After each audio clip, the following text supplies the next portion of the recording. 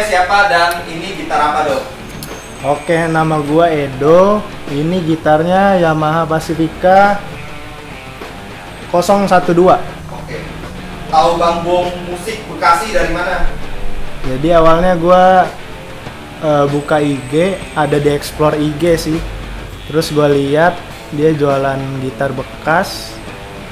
Terus gitar-gitarnya juga oke, mainnya oke juga. Sama sempat lihat ada orang servis juga kan. Terus banyak testimoninya juga, keren-keren. Ya ya. Terus kenapa pilih servis dan setup gitar di sini dok? Di awalnya gue kan eh, tinggal di Depok, gue cari eh, tempat servis di Depok kan. Tapi waktu itu eh, sempet nggak bisa nih buka pickguardnya. Jadi eh, sempet gue lihat di IG ada Bang Bong Musik, terus gue coba chat ke Ko Freddy, terus katanya bawa aja ke sini. Udah habis itu sudah langsung ke ke tempatnya langsung bisa servis. Oke. Terus tadi kendalanya gitarnya apa dan sekarang kondisinya gimana nih setelah di setup di bangku musik Bekasi?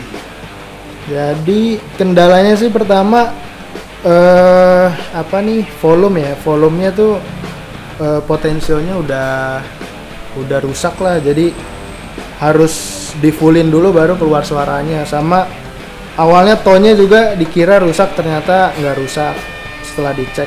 Jadi ganti potensio sama eh, ini sih di apa set, setup ya, di Iya. setup. Star ya? Iya sama ganti senar. Oke, terus sekarang kondisinya gimana nih setelah di setup nih?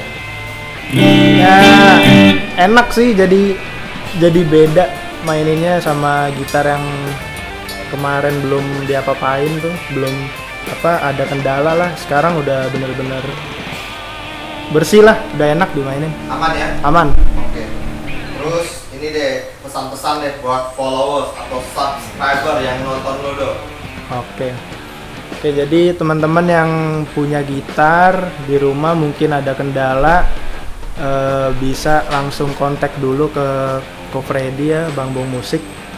Mungkin tanya-tanya dulu kendalanya apa. Kalau emang pasti bisa sih sama Ko Freddy diberesin. Jadi jangan ragu bawa ke sini. Oke, siap. Thank you ya dok. sip thank you